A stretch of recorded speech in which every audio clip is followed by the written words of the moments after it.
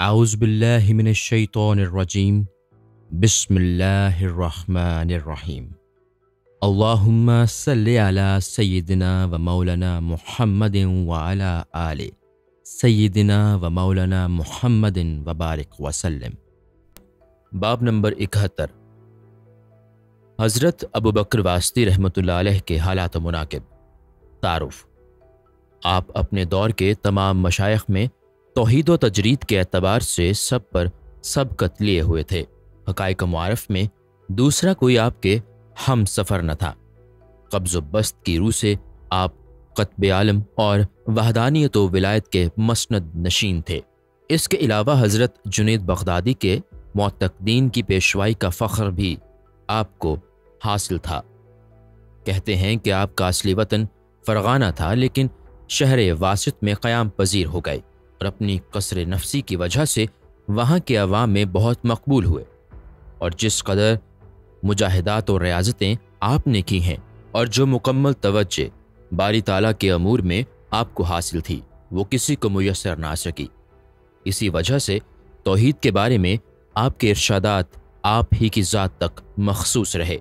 इसके अलावा आपकी इबादतें और आपका कलाम दकीक होने की वजह से आम फहम न था। हालात। आपको सत्तर शहरों से शहर बदर किया गया और जिस शहर में दाखिल होते, बहुत जल्द वहाँ से निकाल दिया जाता था। लेकिन शहर बावर्द में आप कलील अरसा मुकीम रह सके और वहाँ के बाशिंदों का आपसे कुछ एतकाद भी कायम हो गया। मगर आपके इर्शादात जो फहम से बालातर होते थे, इनको तरह तरह के मानी पहनाए गए, जिसकी वजह से आपको वो जगह भी छोड़नी पड़ी। और आखिर में आप मरु में मुकीम हो गए और ताहयात वहीं क्याम किया।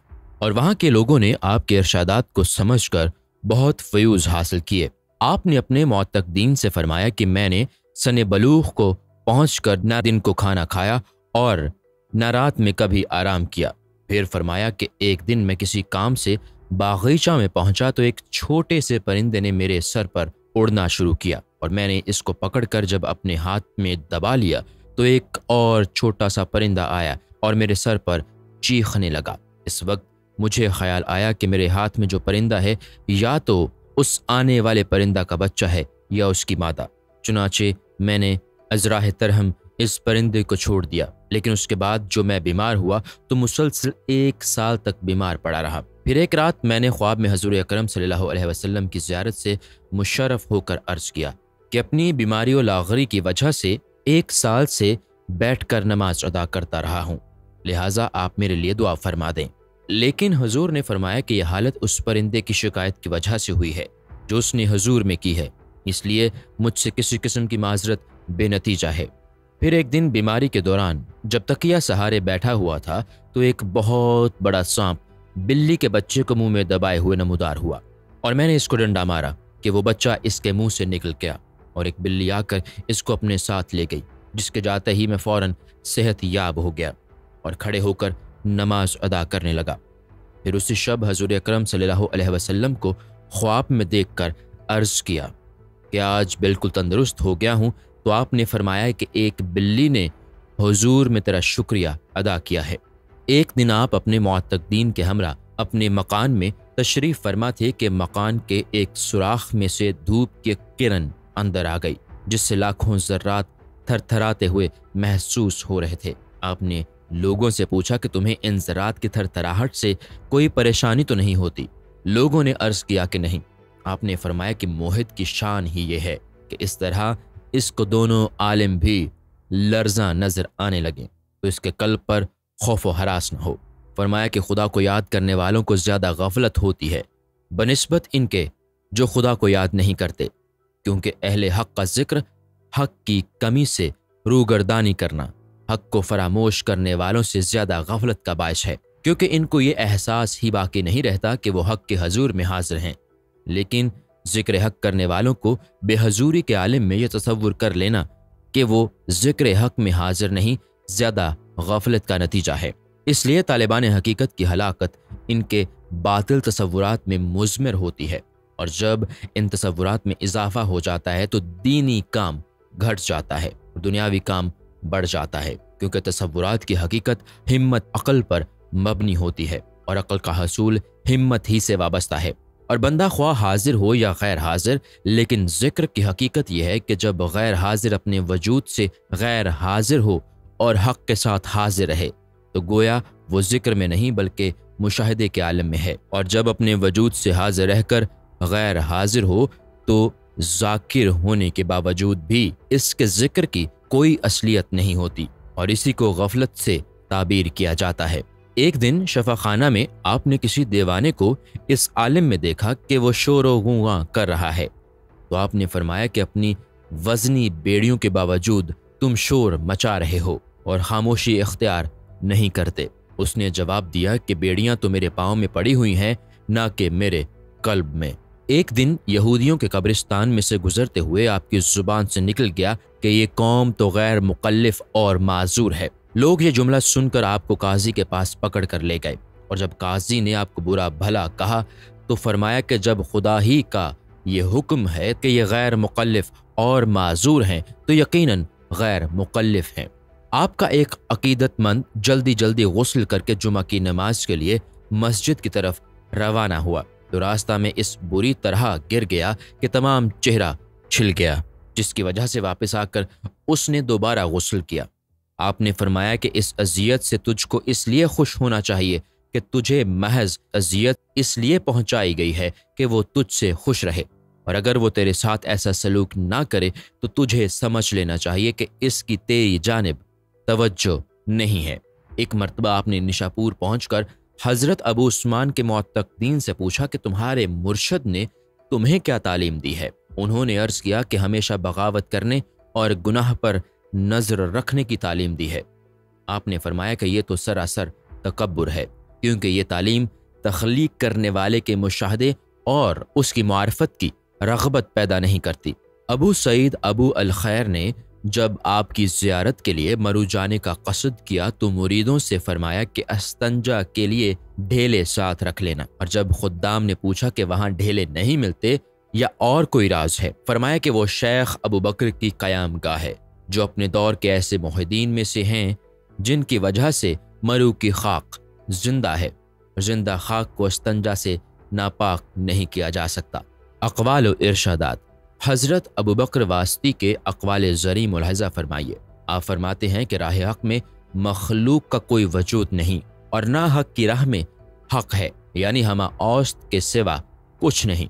फरमाया कि जिसने अपनी जानब मुँह करके दीन की तरफ़ पुश्त कर ली या जिसने इसके बरक्स किया तो इसको खुद नामुरादी में मुबतला कर लिया। फिर फरमाया कि शरीयत एन तोहीद है और शर तोहीद का गुज्र बहर नबूवत तक होता है। जबकि हक, तोहीद, बहरे, बेकरा है। और शरीयत की राहें समा बसर काल और शनाख्त हाल से लबरेज हैं और तमाम चीज़ें इसबात के जानब इशारा करती हैं, जिसमें शिरक मुजमर होता है। लेकिन वहदानियत शिरक मुनज़ा पाक है और इसी को एन ईमान कहा जा सकता है। और जिसमें ईमान का बरह रास्त खुदा से ताल्लुक़ हो, वो बहुत ही बुलंद शय है, वरना शिरक को हरगज़ पसंद नहीं किया जा सकता। इसी तरह मार्फत इल्म और हाल, ये मखलूक और बहर आफरीश में गर्क हैं और इनकी रहबरी के इसबाब अम्बिया कराम ही के ज़रिया से मिलते हैं, जिसकी बदौलत खलकत बशरीत के दरिया से गुजर कर और बहरे वहदानियत में गर्क होकर हलाक हो जाते हैं और शर तोहद की मिसाल शमा जैसी है, जबकि हक तोहद की मिसाल आफ्ताब की तरह है। जिस तरह आफ्ताब अपने चेहरे से निकाब उठाकर दुनिया को मुनवर करता रहता है, लेकिन शमा का नूर जहाँ नेस्ती की जानब ले जाता है, जबकि शमा बजात खुद तो मौजूद रहती है, लेकिन इसका अदम वजूद बराबर होता है। इससे ये अंदाज़ा किया जा सकता है कि जिस तरह नूर शमा को नूर आफ्ताब से कोई नस्बत नहीं हो सकती, इसी तरह शर तोहद और लिसान बातनी भी महवियत को कबूल नहीं करते। और जिस वक्त इंसान कल्ब तक रसाई हासिल कर लेता है तो ज़बान गंग हो जाती है। और जिसम कल्ब दोनों आलम महवियत में पहुँच जाते हैं और इस वक्त जो कुछ भी इस जबान से निकलता है, वो मन जानब अल्लाह हुआ करता है। लेकिन ये बात ज़ात में नहीं, बल्कि सिफात में है, क्योंकि सिफ्त तब्दील हो सकती है, लेकिन ज़ात नहीं बदलती। जिस तरह आफ्ताब की हद पानी को गर्म करके इसकी सिफ्त को तब्दील कर देती है, लेकिन माहियत ज़ात तब्दील नहीं होती। फिर फरमाया कि अल्लाह ताला अखयार के हक में इरशाद फरमाता है, यानी सिफ्त में मुर्दा है मगर सूरत में ज़िंदा। इसका दूसरा मफहूम ये भी हो सकता है कि अगयार आलम हस्ती में तो ज़िंदा हैं, लेकिन आलम बाला के एतबार से मुर्दा हैं। इसके बरक्स मोमिन के बारे में खुदा का इरशाद है, यानी वो अपने रब के पास ज़िंदा हैं। लिहाजा बंदे को चाहिए कि वो राह मौला में जानिसारी के साथ खुद को मादूम तस्वुर करता रहे। जिस तरह जमात सूफिया मादूम होकर भी मौजूद रहती है और सूफिया के अलावा मौजूद ना होकर भी मादूम है। इससे ये साबित होता है कि जिसने खुद को ज़िंदा कर लिया, वो हमेशा ज़िंदा रहता है, क्योंकि जिस्मानी मौत को अदम से ताबीर नहीं किया जा सकता। लेकिन जिस्मानी अदम को अदम ही कहा जाएगा, क्योंकि जिस जगह वजूद होता है, वहाँ रूह भी नामहरम हो जाती है। फिर इजसाम का तो ज़िक्र ही क्या है? फरमाए कि तोहहीद वजूद को शनाख्त करने की किसी में भी ताकत नहीं है और ना किसी में ज़रूरत है कि सहराए वजूद में कदम रख सके। जैसा कि मशाइ कराम का कौल है कि इसबातुल तोहीद फसाद फिल तोहीद, यानी तोहीद का साबित करना भी तोहीद में फसाद का बायस है और शिरक पर गवाही देने के मुतरदफ है। क्योंकि जिसने अपने वजूद के मुकाबले में अपने वजूद का राग अलापा, उसने गोया अपने कुफ्र पर दस्तखत कर दिए और जिसने इसके वजूद के मुकाबले में अपने अपने वजूद पर नज़र डाली, वो कतई काफिर हो गया और जिसने अपनी हस्ती के मुकाबले में उसकी हस्ती तलब की तो वो ना शनाख्त है। और जिसने खुद को देखते हुए इसको ना देखा या जिसने आलिम बेखुदी में उस पर अपनी जान तस्दुक कर दी तो उसने शर्फ व इज़्ज़त का मर्तबा हासिल कर लिया और इसको अल्लाह ताला ने अपनी बारगाह से खिलाफत अता करके भेजा ताकि विलायत इंसानियत में इसका नायब बन सके।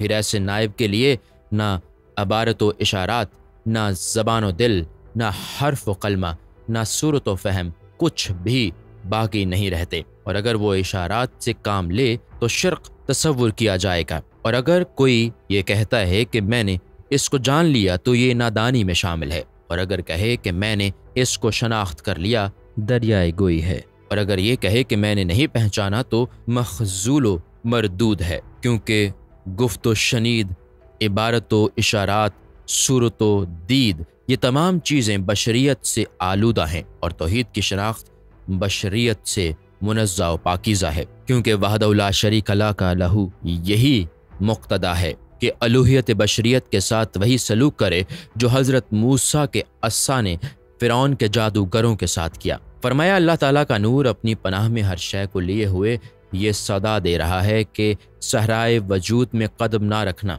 वरना आतिश गैरत सबको जला कर राख कर देगी। हम खुद ही तुमको रिज्क पहुंचाते रहते हैं। फरमाया कि मशाइ के असरार रोज़ाए तोहीद हैं, ना कि एन तोहीद।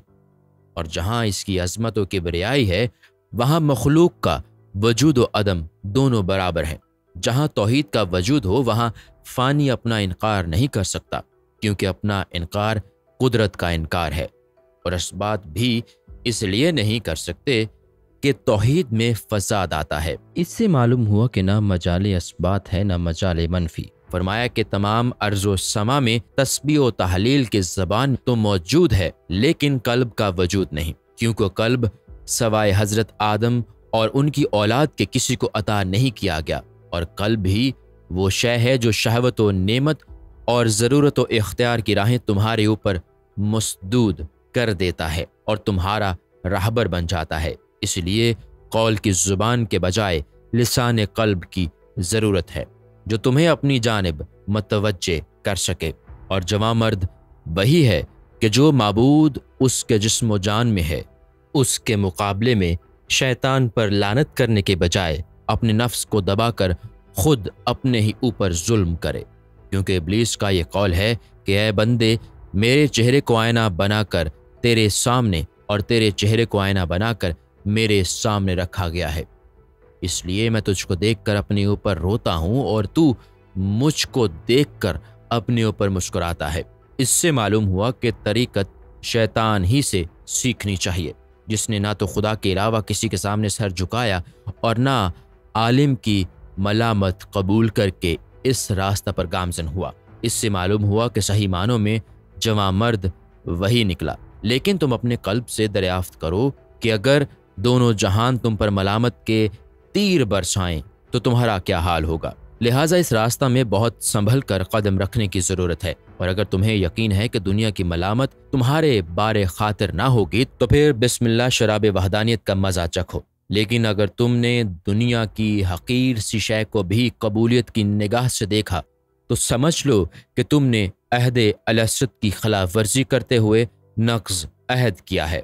और तुम ज़रा बराबर भी नाफरमानी और रूगरदानी के मुरतकब हो गए। तो तुम्हारी दोस्ती और विलायत खुदा के साथ मुकम्मल नहीं रही। और ऐसी शय कभी तलब ना करो जो तुम्हें खुद तलब करती हो। मसलन जन्नत। और इस चीज़ से फ़राइत इख्तियार करो जो तुमसे खुद गरेजा हो। जैसे जहन्नुम। बल्कि खुदा से वो शय तलब करो कि जब वो शय तुम्हें हासिल हो जाए तो हर चीज़ तुम्हारे आगे कमर बस्ता नज़र आएगी। फरमाया कि तुम्हारा हर उज्व दूसरे उज्व में इस तरह गुम और महव हो जाना चाहिए कि राह खुदा में दोई का शायबा भी बाकी ना रहे, क्योंकि ये शिरक में दाखिल है। यानी ना जबान को ये इल्म हो सके कि आँख ने क्या देखा और ना आँख को पता चले कि जबान ने क्या कहा। गर्ज कि तुमसे हर मुतल का शय मुशाहदात इलहिया में महव होकर रह जाना चाहिए और सहराई हकीकत में कदम रखने वालों के लिए ज़रूरी है कि तमाम हिजाबात उसके सामने से इस तरह से उठ जाएँ कि इसका वजूद तमाम अशिया से जुदा महसूस होने लगे। फरमाया कि सही मानों में बंदा वही है जिसके कौल का रुख हजूर अक्रम की जानब हो और उसके कलाम से किसी को अजियत ना पहुँचे और मुखालफिनों मवाफ़िन दोनों के लिए वजह सकून हो। यानी इसका कलाम हुक्म खुदाबंदी के दायरे में होना चाहिए। और जो कलाम मार्फत नफ्स की ज़ुबान से अदा होता है, उससे तकबर की झलक आने लगती है। और इस कलाम को जो भी सुनता है, उसके सीना से ज़िंदगी के चश्मे खुश्क होकर रह जाते हैं। और इन चश्मों से कभी हमत मोजन नहीं होती। और जो शख्स अपने मकान से चलने के बाद घर वापस आने का रास्ता भी जानता हो, इसकी बात राह तरीक़त में मुस्लिम नहीं, क्योंकि अल्लाह वाले तो कल्ब के नूर से चलते हैं, जबकि आम लोग नाबीना हो जाने की वजह से अस्सा के सहारे चलते हैं। और जिसको ये एहसास बाकी रहे कि वो क्या कह रहा है, कहाँ कह रहा है, उसकी बात राह तरीक़त में तस्लीम नहीं की जा सकती। फरमाया कि शिरक आमेज़ एक खलत ऐसा भेजा गया है, जैसे शरबत में जहर की आमेजश कर दी गई हो। फिर किसी को करामत, किसी को फरासत, किसी को हमत और किसी को शनाख्त अता की गई है। लेकिन जो मकसूद असली को नज़रअंदाज करके खलत का आशिक हो जाता है, वो मकसूद असली से दूर हो जाता है। क्योंकि ये तमाम मकाम शरीयत के हैं और जो लोग जहद वरा तवक्ल तस्लीम, तफवीज़ व रज़ा और अखलास व यकीन की रोशनी में चलते हैं, वो दर हकीकत राह तरीक़त पर गामजन होते हैं। लेकिन जो लोग रूह की सवारी पर सफ़र करते हैं, उनके यहाँ ना जहद वरा है और तवक्ल ना तस्लीम। फिर फरमाया कि पूरी मखलूक आलिम अबूदियत में गोता जन होने के बावजूद भी इसकी तह तक नहीं पहुँच सकी और ना कोई बहरे अबूदियत को अबूर कर सका। और जब तुम पर यह राज मुनकशिफ हो जाएगा तो तुम्हें बंदगी का सलीका भी आ जाएगा, क्योंकि हकीकत की राहें सिर्फ़ अदम में मुजमर हैं, और जिस वक्त तक अदम बंदे का रहनुमा हो, रास्ता नज़र नहीं आ सकता।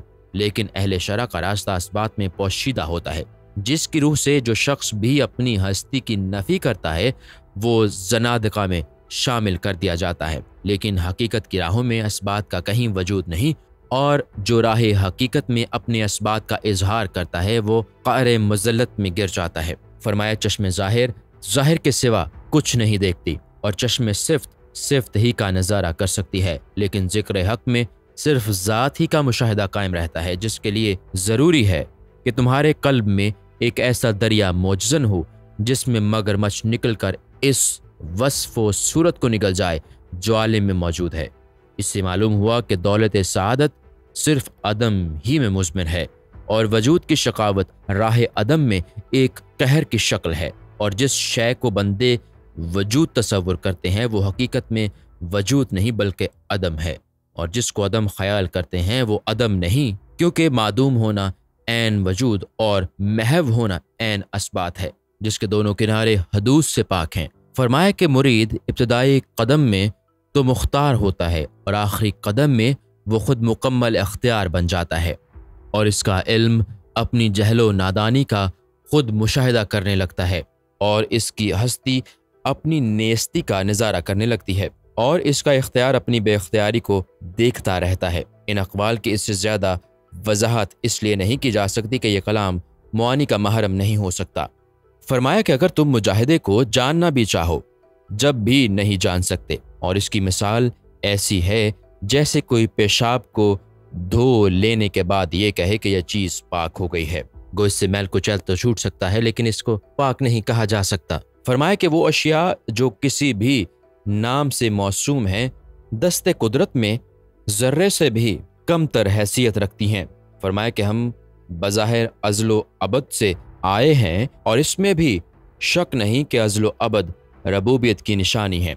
फरमाया कि हक ज़ाहिर होने के बाद अकल पर जवाल आ जाता है और हक बंदे से जितना करीब होता जाता है, अकल फरार अख्तियार करती जाती है, क्योंकि अकल खुद आजिज है और आजिज के ज़रिया जिस शय का भी इल्म होगा, वो भी आजिज ही होगा। फरमाया कि अफजल तरीन, इबादत अपने औकात से गायब रहना है। फरमाया कि जहद सब्र तवक्ल रज़ा, ये चारों चीज़ें कालिब की सफ़ात में से हैं, लेकिन कालिब की सिफ़ात रूह की सिफ़ात नहीं हो सकती, और चूँकि इशारात का कालिब बाकी नहीं रहता, इसलिए ये चारों चीज़ें इससे मुनासिबत नहीं रखती। फरमाया कि अखलास व सफ़ा और सिद को हया की निगरानी से अजल अबद की निगरानी ज़्यादा अफजल है। फिर फरमाया कि जिसने वहदानियत को समझ लिया, वो मकसूद तक पहुँच गया। फरमाया कि ख्वा गुनाह सगीरा हो या कबीरा, दोनों इनायत रियायत की बेखुनी कर देते हैं। फरमाया कि अल्लाह ताला अपने बंदों को अफलास ख्वारी में देखना ज़्यादा पसंद करता है, बनस्बत इसके के गरूर इल्म और इज़्ज़त के रूप में देखे। फिर फरमाया कि जिसका मकसूद वहदानियत से हट कर हो, वो खसारे में रहता है। फरमाया कि राह हक में मिट जाने वाले की जबान से जब बेख्तियारी तौर पर वाहिद निकलने लगे, वही हक को वाहिद कहने का मुस्तक होता है। फरमाया कि जिस तरह सिद्क गो बंदों ने हक़ व इसरार के बारे में सिद्क से काम लिया, इसी तरह हक की हकीकत में दरोग गोई से काम लिया। फरमाया कि सबसे ज़्यादा बदतरीन मखलूक वो है जो तकदीर से जंग करे। यानी अगर कोई चाहे कि तकदीर अजली के ख़िलाफ़ कोई चीज़ ना हो तो ये किसी तरह मुमकिन नहीं। फरमाया कि बंदों की चार कस्में हैं और अव्वल वो जिन्होंने पहचाना और तलब किया। दोम वो जिन्होंने तलब किया लेकिन नहीं पा सके। सोम वो जिन्होंने पा लिया लेकिन उससे मुफाद हासिल ना कर सके। चहारम वो जिन्होंने पहचाना लेकिन तलब नहीं किया। फिर फरमाया कि वफा पर कायम रहने वालों को दुनियावी तगैरत की कतअन परवाह नहीं होती। फिर फरमाया कि मार्फत की दो किस्में हैं। एक मार्फत खसूसी दो मार्फत इसबात मार्फत खसूसी तो वो है जो असमाओ सिफ़ात दलाइल निशानात और सबूत हिजाबात के माबैन मुश्तर हो और मार्फत इसबात वो है कि इसमें जानब राह न मिल सके और इसकी अलामत यह है कि बंदे की मार्फत तो तहस नहस कर दे फरमाया के तमाम हजरात को यकजा मजतमा करके सिर्फ़ एक ही ख़तरे पर मुतमक्न हो जाना चाहिए और तमाम अशियाए दीदनी को सिर्फ़ एक ही निगाह से मुशाहिदा करना चाहिए, क्योंकि तमाम देखने वालों की नज़र एक ही होती है। जैसा कि बारी ताला ने फरमाया कि तुम सब का पैदा करना और मरने के बाद ज़िंदा करना मेरे लिए इसी कदर आसान है जितना कि एक नफ्स का पैदा करना और जलाना आसान है। फरमाया कि रूह आलम, हिजाब कौन से? बाहर नहीं आई है, क्योंकि अगर ऐसा होता तो कल भी बाहर आ जाता। इस कौल का मफहूम हर शख्स नहीं समझ सकता। फरमाया कि हर मौजूद के लिए सबसे बड़ा हिजाब इसका वजूद है। फरमाया कि कल्ब पर जहूर हक के बाद खौफ रजा मादूम हो जाते हैं। फरमाया कि आवाम सिफात को शनाख्त नहीं कर सकते, जबकि खवास इसकी सिफत रबूबियत से आगाह होकर इसका मुशाहिदा करते रहते हैं और इसके सिवा किसी पर नज़र नहीं डालते। लेकिन आवाम के इसरार चूँकि कमज़ोर हैं, इसलिए वो मम्बा हक से दूर होकर इसकी सिफात को भी बर्दाश्त नहीं कर सकते। फरमाया कि जब कलूब पर रबूबियत की तजलियात पड़ती हैं तो तमाम इसबाब दुनियावी को तबाह कर देती हैं। फरमाया कि अजलो अबद, अमाल अवकात और दाहवर सब एक बर्क़ की तरह हैं। जैसा कि हजूर अक्रम वसल्लम ने फरमाया कि मुझे अल्लाह के साथ एक ऐसा वक्त हासिल है, जिसमें खुदा के सिवा किसी का गुजर नहीं।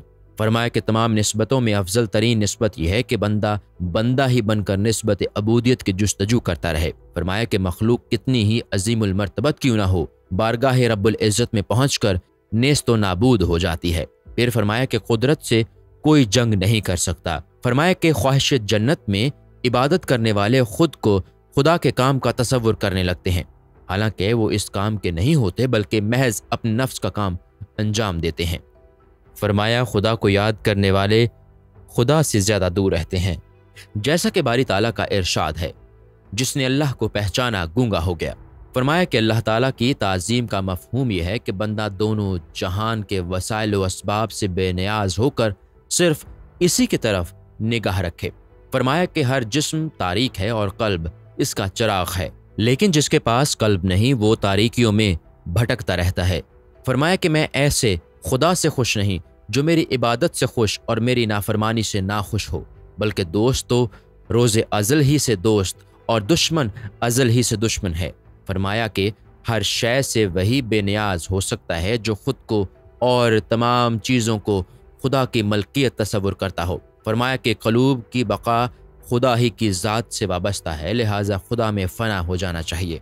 फरमाया कि लफ्ज़िश नफ्स को देख कर नफ्स की मलामत करना शिरक है। फरमाया कि जिस वक्त नफ्स में कोई गर्ज बाकी रहती है, मुशाहदात का मरतबा हासिल नहीं हो सकता और ना खुदा की मोहब्बत सही हो सकती है, बल्कि इश्क सादक तो ये है, इसके मुशाहदे में इस तरह गर्क हो जाए कि तमाम चीज़ों को भूल कर मोहब्बत में फ़ना हो जाए। फरमाया कि सिवाय मोहब्बत के तमाम सिफात में रहमत मुजमर है और मोहब्बत में रहमत का मुआवजा कत्ल है और कत्ल के बाद भी मकतूल से खून बहा तलब किया जाता है। फरमाया कि हरकत सुकून से बेनियाज हो जाने का नाम अबूदियत है और जो इन दोनों सिफतों को दूर कर देता है, वो हक के अबूदियत से आगाह हो जाता है। फरमाया कि मकबूल तोबा वही है जो बंदा गुनाह से कबल कर ले। फरमाया कि बेम रजा हासिल करने वाला गुस्ताखियों बेअदबी का मरतकब नहीं हो सकता। फिर फरमाया कि तोबा नसूख की तारीफ़ ये है कि तायब होने वाले के ज़ाहिर बातिन पर मासीत का असर बाकी ना रहे और जिसको तोबा नसू हासिल होती है, वो हर शय से बेखौफ हो जाता है। फरमाया कि जो जाहिद अपने जहद की वजह से दुनिया के सामने तकबर करता है, वो जहद का सिर्फ़ मदई होता है। इसलिए कि अगर इसके कल्ब में दुनिया की वक़्त बाकी ना रहे तो फिर वो अहल दुनिया से तकबर नहीं कर सकता। फरमाया के जाहिदों का ये कहना है कि हम फला चीज़ को मायूब तस्वुर करते हैं बहुत बुरा है। फरमाया कि बंदे की मार्फत हक उस वक्त तक सही नहीं हो सकती, जब तक इसकी सिफत न्याजमंदी बाकी रहती है। फरमाया कि खुदा शनास बंदा ना तो मखलूक से कोई वास्ता रखता है, ना किसी से कलाम करता है। फरमाया के अतात करके मुआवजा की उम्मीद रखना फजल की फरामोशी से होता है। फरमाया के कस्मतें मुकदरात हैं और सिफ़ात तख्लीक शुदा हैं और जब किस्मत मुकद्दर है तो फिर कोशिश से क्या हासिल हो सकता है? फरमाया कि आरफीन कुर्ब इलाही में परवाज करते रहते हैं और इसी से इनकी हयात वाबस्ता है। फरमाया कि तोहद शनास वही है जो अर्श से फ़र्श तक तमाम चीज़ों को तोहद के आयना में देखते हुए खुदा की वहदानियत के राज मालूम करे। फरमाया कि हद इम्कान तक रजा से काम ना लो। क्योंकि रजा से काम लेने वाले लज्जत रुयत और मुताल हकीकत से बेबहरा रह जाते हैं। यानी जब रजा से लज्जत हासिल करोगे तो शहूद हक से महरूम हो जाओगे। फरमाया कि दुनिया में इससे बड़ा कोई जहर नहीं कि इंसान अतात व इबादत पर इजहार मुसरत करे और अपनी इबादत व अतात पर फरीफ्ता हो जाए। फरमाया के करामात पर इजहार मुसरत तकबर नादानी की अलामत है। फरमाया कि नेमत खुदाबंदी को अपनी अतात का मुआवजा तस्वुर ना करो, बल्कि खुद को इतना हीच बना लो कि तुम्हें अतात भी हीच मालूम होने लगे। इसके बाद खुदा के नज़दीक फेल की कोई कदर कीमत होती तो हजूर अक्रम चालीस साल तक खाली ना रहते। लेकिन इसका यह मकसद भी नहीं कि अमल से बिल्कुल कोरे हो जाओ, बल्कि ये मफहूम है कि इस कदर हासिल कर लो कि अमल की ज़रूरत ही बाकी ना रहे। फरमाया कि जिस वक्त बंदा अल्लाह अकबर कहता है तो इसका इकरार करता है कि अल्लाह ताला इससे बड़ा है और इसके फ़ेल से खुदा तक रसाई हासिल हो सकती है या इसके तर्क फ़ेल से जुदा हो सकता है। लेकिन मिलना और जुदा होना हरकत व अफ़ाल पर मौकूफ़ नहीं, बल्कि क़ज़ाए अजल से वाबस्ता है, यानी अजल में जो तहरीर किया जा चुका है वही होकर रहेगा। फरमाया कि जिस तरह बच्चा शिकम मादिर में बेऐब पाक होकर बाहर आता है, इसी तरह क़यामत में बंदे की दौलत सादत का भी यही हाल होगा कि अहल अल्लाह की मोहब्बत इस वक्त बेऐब पाक होकर बाहर आ जाएगी। फरमाया कि बंदा मोमिन की तीन किस्में हैं। अव्वल वो जिन लोगों को अल्लाह ताला ने नूर इनायत अता करके एहसान फरमाता है और वो इसके ज़रिया मासीत से मुबर्रा और कुफर शर्क से पाक रहते हैं। दूसरे वो लोग जिनको खुदा ताला नूर इनायत अता करके एहसान फरमाता है और वो नूर इनायत की वजह से गुनाह सगीरा और कबीरा से मुनज़ा रहते हैं। तीसरे वो लोग, जिनको अल्लाह ताला किफ़ायत करके एहसान फरमाता है, और इसकी वजह से वो अहल गफलत और ख्यालात फासदा से दूर रहते हैं। फरमाया कि दरवेश को हकीर तस्वुर करना और जल्द गुस्सा में आ जाना महज अतात नफ्स की वजह से होता है, और नफ्स की अतात से अबूदियत से खारिज होकर रबूबियत का दावेदार होता है। फरमाया कि खुदाशनास बंदा खुद गुम होकर रह जाता है, और जो इसके बहरे शौक में गर्क होता है, वो खुद भी फना हो जाता है। और जो शख्स तलब जन्नत और खौफ जहन्नुम से बेनियाज होकर खुदा के लिए अमाल सालहा करता है, इसको अपने अमाल का अजर हासिल होता है और गजब इलाही में आ जाने वाला फंस कर रह जाता है। फरमाया के खौफ का अला मुकाम यह है कि बंदा हर लम्हा यह तस्वुर करता रहे कि खुदा ताला मुझे कहर की नज़र से देख रहा है और बहुत जल्द मुबतलाए अजाब कर देगा। और अहल खौफ के ख्याल से कल्ब रूह से खुद को इसकी इबादत में मशगूल रखे। लेकिन इसमें यह ख्याल न आना चाहिए कि इसकी नज़र करम पड़ेगी या नहीं। फरमाया के खौफ की हकीकत मौत के वक्त मालूम होती है। फरमाया के ज़ाहिर में मखलूक से और बातिन में खालिक से वाबस्ता रहना चाहिए। फरमाया कि इखलाक अजीम की अलामत यह है कि ना तो बंदा किसी से मुआदत करे और ना कोई इससे दुश्मनी रखे।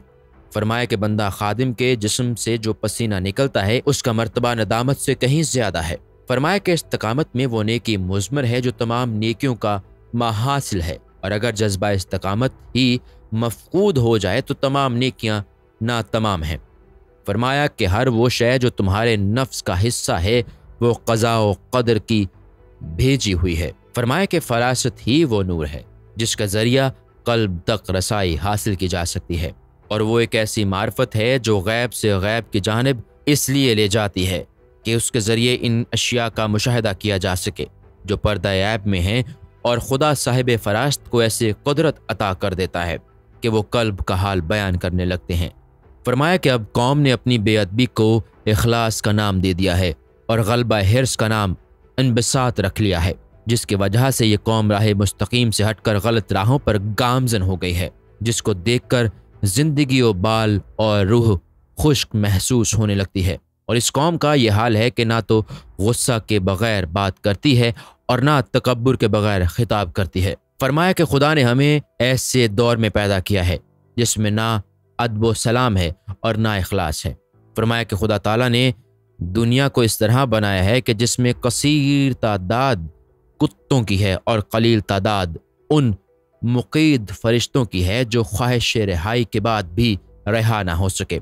यानी खुदा ने दुनिया में ज़्यादातर बुरे लोग और कम लोग अच्छे पैदा किए हैं और सबको एक ही ज़मीन पर रख दिया है, लेकिन अच्छे लोग ये तमन्ना करते हैं कि हम इस सरजमीन से निकल जाएँ, जिसमें बुरे लोग आबाद हैं, लेकिन निकलना मुमकिन नहीं। फरमाया कि ईमान को 40 साल आतिश परस्ती में गुजारना चाहिए। ताकि ईमान कामिल की शनाख्त हो सके। और जब लोगों ने अर्ज़ किया कि ये कौल हमारी अकल से बाहर है, उसकी साफ़ अल्फाज में वजाहत फरमाइए तो फरमाया कि हजूर अक्रम सल्लल्लाहु पर चालीस साल की उम्र तक वही का नजूल नहीं हुआ। तो क्या इसका ये मतलब था कि चालीस साल तक आप में ईमान नहीं था? और ख़ातिमुलम्बिया होने की वजह से जो कमाल आपको बासत से कबल हासिल था, वो ख़ातिमुल कमालात था। फरमाया कि तुम्हें साहिब नफ्स बनाया गया है और हजूर अक्रम वसल्लम के इर्शादात के मुताबिक चूँकि नफ्स किब्र है, इसलिए तुम्हें नफ्स के तकबर से रिहाई हासिल करने की ज़रूरत है। और जब तक रिहाई हासिल नहीं होगी, हकीकी ईमान की शनाख्त नहीं हो सकती। फिर लोगों ने सवाल किया कि दुनिया में किसी को हजूर अक्रम वसल्लम से ज़्यादा मरतबा हासिल हुआ है। फरमाया कि हकीकत तो ये है कि जब कोई आपके मरतबा ही के बराबर नहीं पहुँच सका तो आपसे ज़्यादा मरतबा हासिल करने का सवाल ही पैदा नहीं होता। और जो शख्स आपसे ज़्यादा या आपके मर्तबा के बराबरी का दावेदार हुआ, उसके काफिर होने में कोई शुबह नहीं किया जा सकता। इसलिए अलिया कराम का अला तरीन मरतबा भी अम्बिया का अदना तरीन मरतबा है। फिर लोगों ने सवाल किया कि दुनिया में सबसे बेहतर खाना कौन सा है? फरमाया कि सबसे अफजल खाना ज़िक्र हक का लुकमा है। जिसको बंदा दस्तरखान मार्फत से उठाकर अल्लाह के साथ नेक गुमान करे। वफात।